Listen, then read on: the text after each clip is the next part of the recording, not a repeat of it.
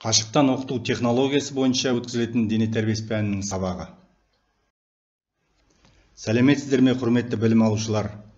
Бүгін сіздермен қашықтан оқыту технологиясы бойынша дене тәрбиесінің сабағы өткізіледі. Сабақ тақырыбы баскетбол ойындағы шабуыл тактикасы.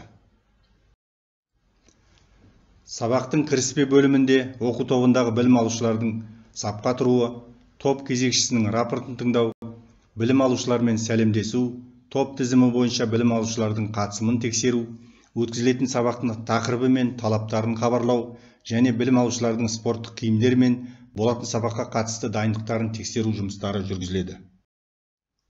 Сабақтың дайындық бөлімінде дене мүшелерін қыздыруға арналған жаттығулар істелінеді. Атап айтқанда жүру қозғалысында орындалатын аяқ табаны мен тобық буындарын қыздыруға арналған жаттығулар жасаймыз. Бастап қалып екі қолды бүйірде ұстау. Жаттығулар зал шетімен жүру арқылы орындалады. Бастап қалып бойынша аяқтың ұшымен жүреміз. Келесі айналымда аяқтың өкшесімен жүреміз. Үшінші айналымда аяқтың ішкі және сыртқы қырларымен жүреміз. Осыдан кейін бір орында тұрып қолдың барлық бұлшықет топтарына білезік шынтақ және иық буындарына арналған қыздыру жаттығуларын істейміз. Жүгіру қозғалысында орындалатын аяқ буындары мен бұлшықет топтарын қыздыруға арналған жаттығуларды жасаймыз. Екі қолды шынтақтан бүге кеуде алдында ұстап аяқ тізелерін бүгу арқылы алма кезек жоғары көтере жүгіреміз. Екі қолды жамбасқа тегізе артта ұстап аяқтарды артқа жоғары алма кезек көтеру қимылымен аяқ өкшелерін ашылған қол алақандарына тигізе жүреміз жүгіреміз.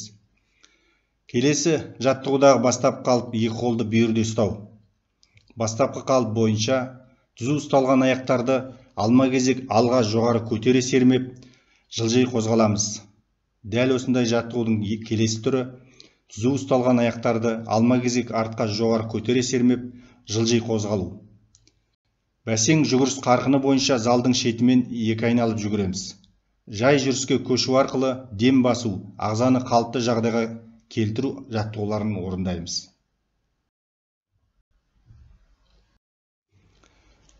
Келесі орындалатын жаттығу түрі жалпы дамыту жаттығулары.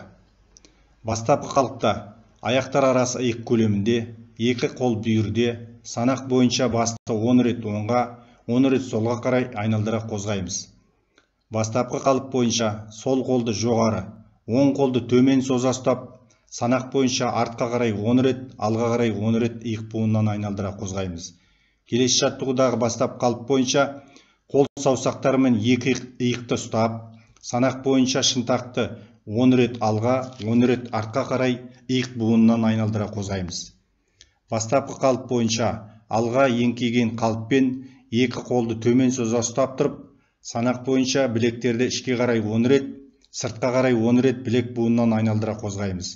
Бастапқы қалып бойынша аяқтар арасы иық көлемінде екі қол бүйірде санақ бойынша оң қолды жоғары көтере кеудемен бірге сол жаққа қарай екі рет қисайта қозғаймыз.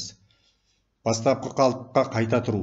Сол қолды жоғары көтере кеудемен бірге оң жаққа қарай екі рет қисайта қозғаймыз. Бұл әрекеттер екі қапталға бес реттен қайталанып орындалады.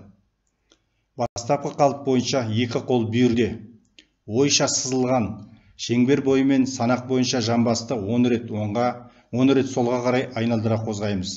Бастапқы қалып бойынша екі қол бүйірде санақ бойынша кеудені бір екі санағы бойынша алға еңкейту.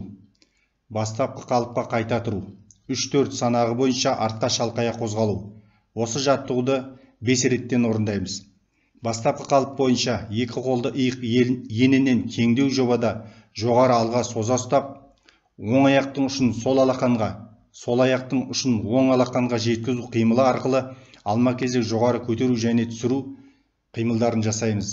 Бұл жаттығу 10 рет орындалады. Бастапқы қалып бойынша екі қолмен тізелерді ұстап санақ бойынша қарсы қозғалыс арқылы 10 рет ішке 10 рет сыртқа қарай тізе буындарын айналдыра қозғаймыз. Келесі жаттығудағы бастап қалып аяқтар арасы алшақ қойылады. Екі қолды алға соза ұстап денені оң қапталға қозғау арқылы санақ бойынша бес рет алма кезек оң аяқпен отырып тұру және бастапқы қалыпқа көтеріліп көтерілу қимылымен денені сол қапталға қозғау арқылы сол аяқпен отырып тұру. Бұл әрекеттер екі қапталға бес реттен қайталанып орындалады. Соңғы жаттығудағы бастапқы қалып екі қол бүйірде тұрған қалыптан бес рет оң аяқтың, аяқтың ұшымен бес рет сол аяқтың ұшымен бес рет қос аяқтың ұшымен секіру қозғалыстарын жасаймыз. Одан әрі дем басу ағзаны қалыпты жағдайына келтіру жаттығуларын орындаймыз.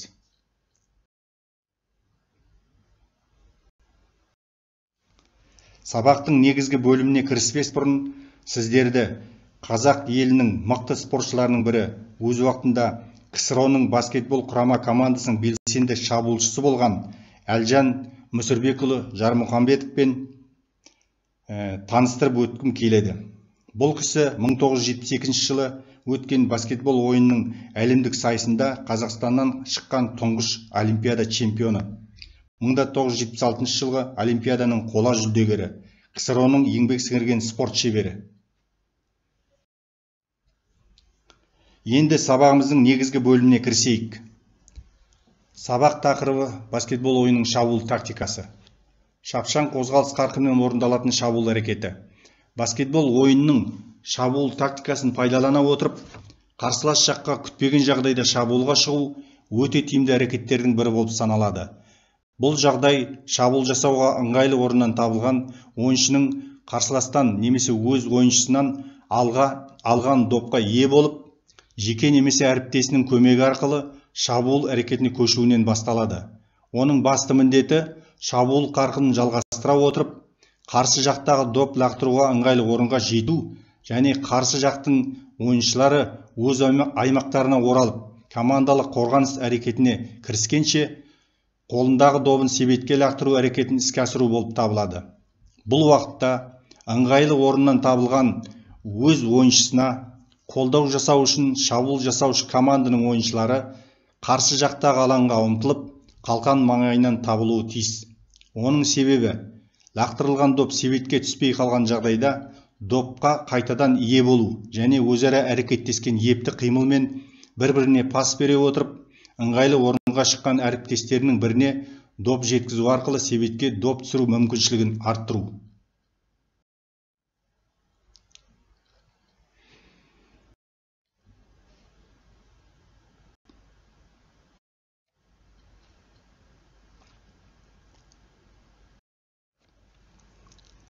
Негізгі бөлімнің келесі тақырыпшасы командалық шабуыл тактикасы. Шабуылдың тағы бір тиімді түрі қарсы жаққа командалық ретпен шабуылға шығу әрекеті болып табылады. Шабуыл нәтижесіндегі сәттілікке команда ойыншылары тек мынадай жағдайларда ғана қол жеткізе алады. Біріншіден команда ойыншыларының әрқайсысы қолына түскен допты сенімді түрде игере білуі тиіс. Екіншіден команда ойыншылары шешімді тез қабылдай алатын және оны жүзеге асыра білетін қабілетке ие болу керек. Үшіншіден командалық шабуыл уақытында жақын және алыс аралықтағы ыңғайлы орындардан доп лақтыруға икемді ойыншыларға пас беру арқылы доп шығарып беру. Төртіншіден қарсылас командасының психологиялық жағдайын әлсірету үшін олардың қорғаныс қатарын бұзуға бағытталған батыл шабуылдар жасау. Бесіншіден өз жағындағы ойыншылардың алаңның қай тұсында жүргенін аңғара білу. Алтыншыдан команда ойыншылары бір біріне қолайлы жағдай жасау арқылы қарсылас себетіне допты жиі лақтыруға мүмкіншілік туғызатын ойын жүргізуге әрекеттену. Жетіншіден бір сарынды ойын жүргізуді болдырмау. Ойынды әртүрлі әдіс әрекеттермен ойнау арқылы қарсылас қорғаушыларының икемделіп алуына жол бермейтін ойындар ұйымдастыра білу.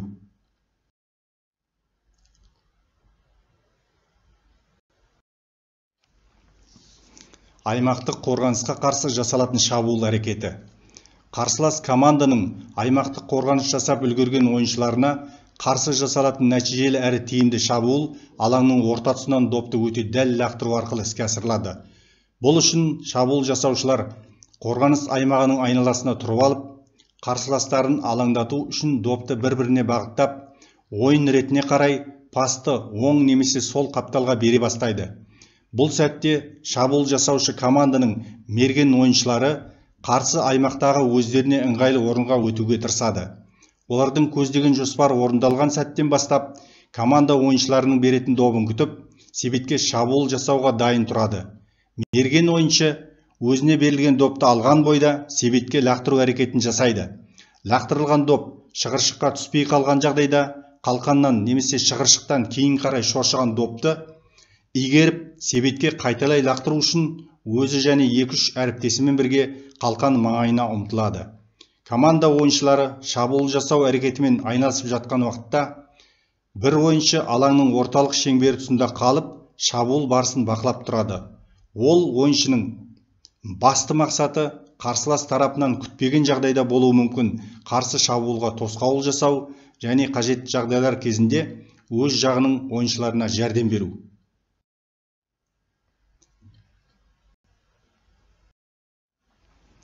Допты қаптал сызығының сыртынан лақтыру кезіндегі шабуыл жасау әрекеті. Шабуылдың бұл тәсілін үйренуге баса көңіл бөлінуі керек. Допты қаптал сызығының сыртынан лақтыру кезінде қарсылас жақтың ойыншылары допты лақтырушы команданың ойыншыларынан бір адым алда тұрып олардың жолын жауып тастайды. Сондықтан әріптес ойыншылар шапшаң әрі епті қимылмен қозғалып команда ойыншыларының әрқайсысын жеке жеке бағып тұрған қарсыластар бақылауынан бос орынға қарай сытылып шығып доп қабылдауға сол сияқты шабуыл жасауға ыңғайлы жағдай туғызуға тырысады. Бірақ бұл оңайлықпен істелетін жұмыс емес. Қасыңнан қалмай әрбір қимылыңды бағып тұрған қарсы команда ойыншысынан сытылып шығу өте шұғыл әрі епті қимыл әрекетті қажет етеді. Бұл уақыттағы допты беру және қабылдау қимылдары тез және дәл орындалу керек. Одан әрі алаңның ашық жерлеріне шығу және дұрыс пас беру істері арқылы шабуыл әрекетін ұтымды түрде ұйымдастырып көзделген мақсатқа қол жеткізуге болады. Сонымен ойын кезінде әрбір ойыншының шабуыл және қорғаныс тактикасының негізгі тәсілдерін білуі допты шебер игеріп өз командасының шабуыл қимылына қолайлы жағдай туғызуы қарсылас себетіне сүрілген доптар санына үлес қосуы команданы жеңіске жеткізуге апаратын бірден бір жолы болып табылады. Сабақтың қорытынды бөлімі. Баяу қарқынмен жүгіру дем басу қалыпқа келу жаттығуларын орындау оқу тобын сапқа тұрғызу баскетбол ойындағы шабуыл тактикасы тақырыбы бойынша өткізген сабақтың қорытындысын шығару сабақ барысында жіберілген қателермен жұмыс істеу ақыл кеңестер беру және бағалау жұмыстарын атқару оқытылған тақырып бойынша үй тапсырмаларын беру қолданылған жаттығу құралдарын жинастыру және білім алушылармен қоштасу. Үй тапсырмасы. Таңдалған екі-үш тақырыпшалар бойынша мән жазба жазу. Шапшаң қарқынмен жасалатын шабуыл әрекеті командалық шабуыл тактикасы аймақтық қорғанысқа қарсы жасалатын шабуыл әрекеті допты қаптал сызығының сыртынан лақтыру кезіндегі допты алатын ыңғайлы тұстарға шығу допты алу және шабуыл әрекеттерін ұйымдастыру. Баскетбол ойыны бойынша әзірленген тест және үйге берілген тапсырма жауаптарын WhatsApp және EduPage бағдарламасымен немесе сіздерге берілген жеке электронды пошта арқылы жолдауларыңызға болады.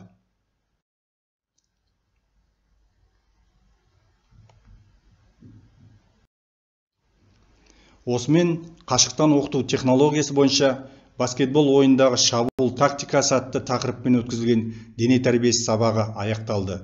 Сау болыңыздар!